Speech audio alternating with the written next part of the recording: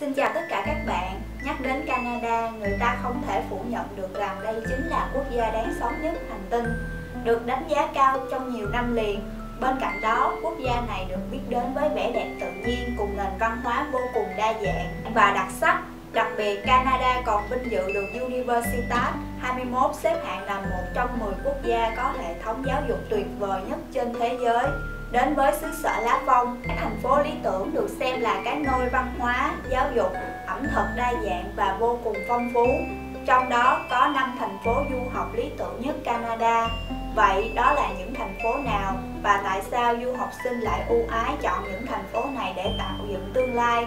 Sau đây chúng ta cùng nhau tìm hiểu top 5 thành phố du học lý tưởng nhất Canada các bạn nhé. Top 5 thành phố du học lý tưởng nhất tại Canada 1. Nova Scotia nằm tại vùng biển phía đông nam Canada với khí hậu ôn hòa và cảnh quan thiên nhiên vô cùng trù phú.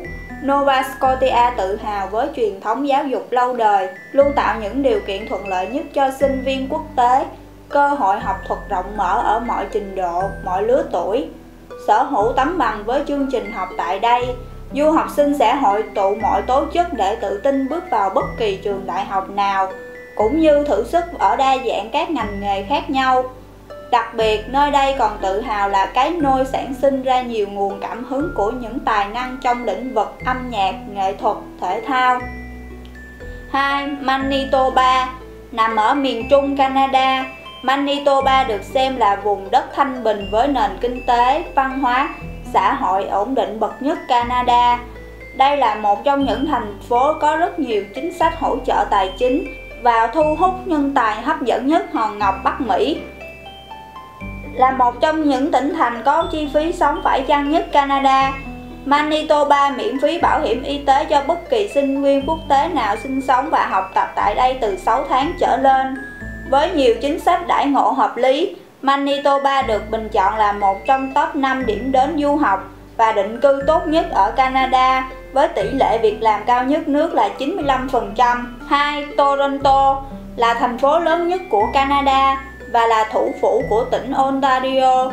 Là thành phố điển hình với sự hiện đại, năng động và đa dạng văn hóa. Toronto là một trong những thành phố hàng đầu của Canada về tăng trưởng kinh tế và tạo việc làm mới. Được xếp hạng là thành phố toàn cầu hạng Alpha và dẫn đầu thế giới về các chỉ số tài chính toàn cầu. Với hơn một nửa dân số là dân nhập cư, Toronto là một trong những thành phố dễ sống nhất với mức chi phí sống ổn định.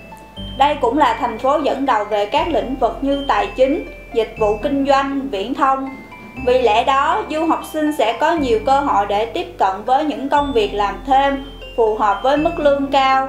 Đại học Toronto là ngôi trường được kính nể nhất trong số những học viện giáo dục tại đây. Trường nằm trong top 25 trường đại học tốt nhất thế giới. 4. Vancouver được mệnh danh là Hollywood ở phía bắc của Canada với nền công nghiệp điện ảnh phát triển ấn tượng. Đây là một trong những sự lựa chọn hàng đầu đối với học sinh các nước châu Á, Thái Bình Dương, trong đó có Việt Nam.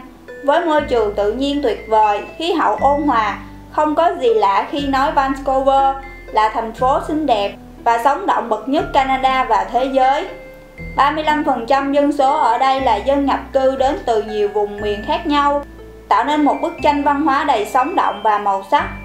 Thành phố này cũng sở hữu hệ thống cảng biển tuyệt đẹp, với quy mô lớn thứ hai Bắc Mỹ, chỉ sau New York. Là nơi trung chuyển hàng hóa huyết mạch giữa châu Mỹ và các quốc gia khu vực châu Á, Thái Bình Dương, tạo lợi thế lớn để phát triển nhóm ngành du lịch xuất nhập khẩu. 5. Onbeta Nằm ở phía tây Canada là tỉnh duy nhất không giáp biển.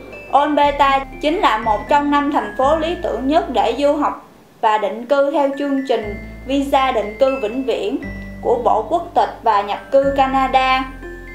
Đây là vùng đất trù phú, giàu có bậc nhất Canada với nền kinh tế phát triển bền vững cùng chính sách thuế thấp khiến cho điều kiện sống ở đây luôn ở mức dễ thở.